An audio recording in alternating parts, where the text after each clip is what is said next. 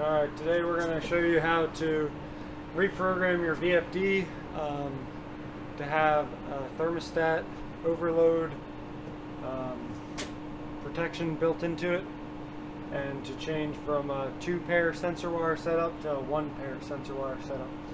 So step one is to remove the cover.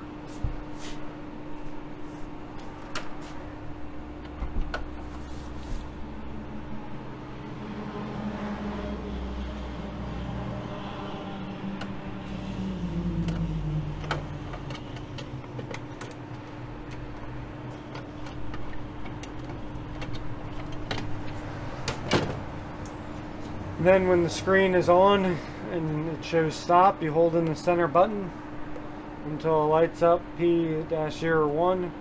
If you use the up and down arrows, you got to get to P14. So I'm going to go down and it goes right to P14. You hit the center button. Right now it's set at 380 and we want to change that to 482.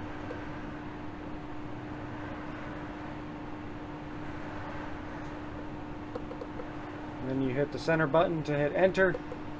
It goes back to P14. Then you have to go up to P38 and change that from 1 to 0. So you hit the down arrow to get to 0, hit the center button. Now that's changed. Now we go back to parameter 1.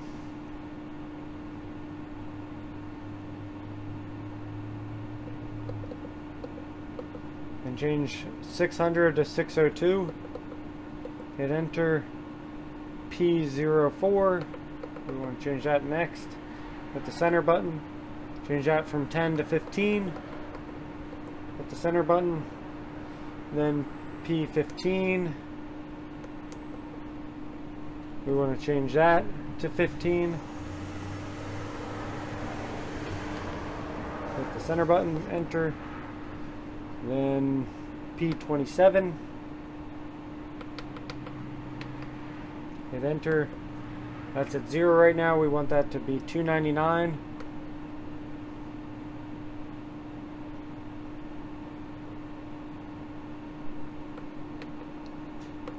Hit OK.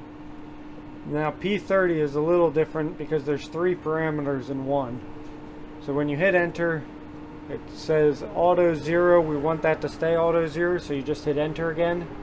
Then it says NC which stands for normally closed. We want that to be normally open so you hit the up arrow and it changes to NO normally open. Hit OK. And it says off and that's what we want so we just hit OK again. Then we change to P39 and we want this right now it's 0, 0.0 and we want 0 0.6 so you go up to 0.6 hit OK. Then P48 hit enter. Right now it's set at 20.0 we want that to be 0 0.1 so we go down.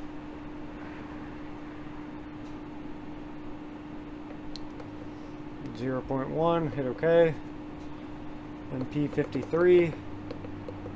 Right now it's set at 100. We want to change it to 50.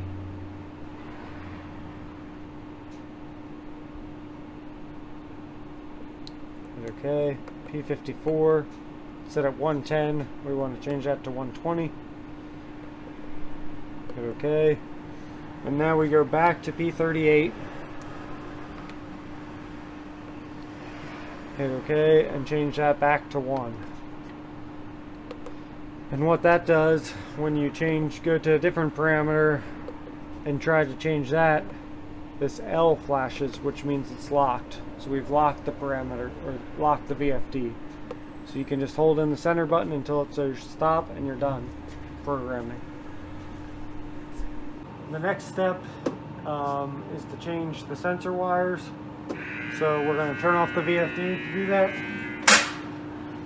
Turn off the power let it let the screen turn off. So currently you use one pair of sensor wires in terminals 1 and 2 as your enable disable and one pair of sensor wires in 6 and 7 as your 0 to 10 volt um, signal. So we're going to disconnect the 1 and 2 terminals your enable disable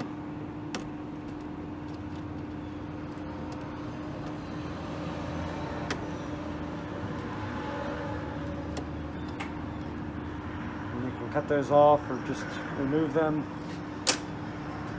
and now we're going to add in a jumper across one and two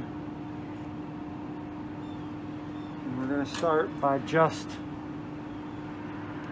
putting the jumper. I just made a little jumper and I'm going to install it in terminal 2 to start out. So tighten that down.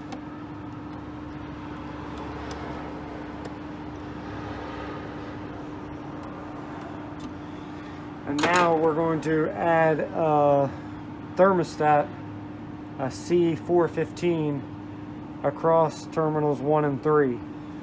So I have a C415 right here and it's already wired. I wired one of the wires into the black wire and one into the red wire. And I'm not using the blue wire.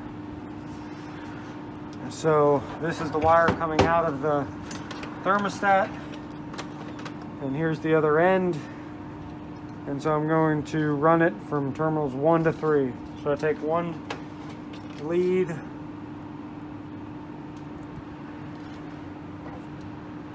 install it in terminal 3.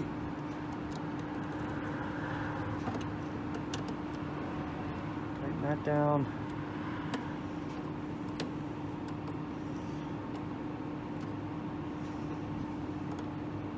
And now both my jumper and my thermostat wire need to go into terminal 1.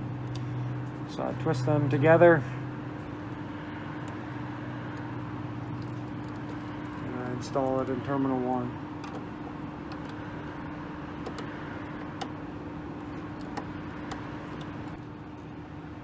So now that the VFD is wired and you have your sensor wire and your jumper wire installed, um, I turn the fan back on and because I have the Ventra Pro program to turn on at 70 degrees, the current temperature in the house is reading at 66, so nothing is happening. And the thermostat right now I have set at 110 degrees Fahrenheit. So because it's not above the 110, and it's not above the 66 or the 70 degrees, neither is turning on. Neither is causing it to turn on. If I were, right now the outside temperature is around uh, probably 30, maybe 40 degrees. So if we turn the thermostat the whole way down,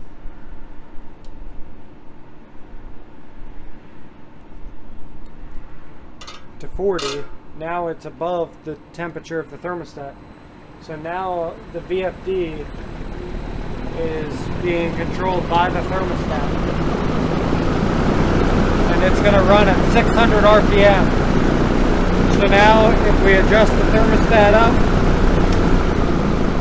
to above the temperature in the barn, now the fan turns back off. If we come over here to the Ventra Pro, I have a rheostat um, to simulate the temperature in the house. So by turning the rheostat clockwise, the temperature in the house will increase after 15 seconds of an adjustment. So if I turn it a little bit clockwise, that'll make the temperature go up.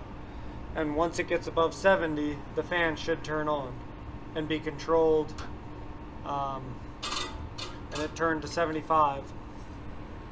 So that means the fan kicked on and since the minimum speed is 300 RPM and the maximum speed is uh, 600 and it's supposed to ramp between 70 degrees and 100 degrees, it's slightly above 300 RPM at 356. So that's working properly and the thermostat is working properly. Thanks for watching.